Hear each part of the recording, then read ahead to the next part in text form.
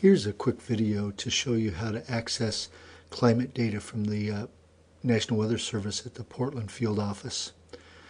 Here's our course web page and if you click over here you can go to the National Weather Service Portland Airport field office and if you click on our area here Vancouver Washington you can get the uh, daily report five day forecast.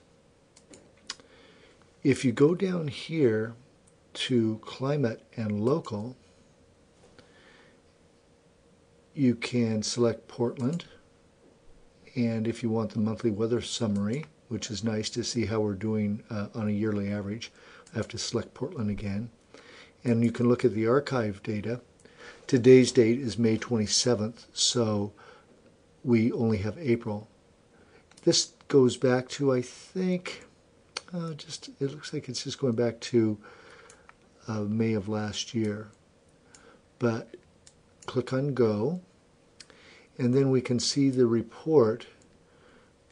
This year, 2011, the average mean temperature has been 47.9.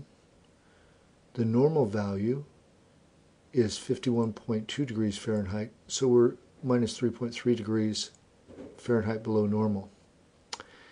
And the precipitation that we have is for the month of April 5.04 inches. Normally we only have 2.64 inches, so we're 2.4 inches above normal.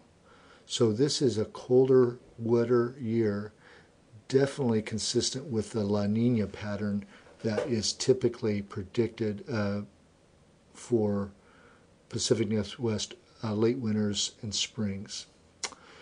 The other thing that you can look at here is that what they mean by normal, it's the average from 1971 to 2000, so the average over those 30 years. And the whole climate record extends from 1940 to uh, 2011. Okay, so that should help you out if you want to access and look at that information.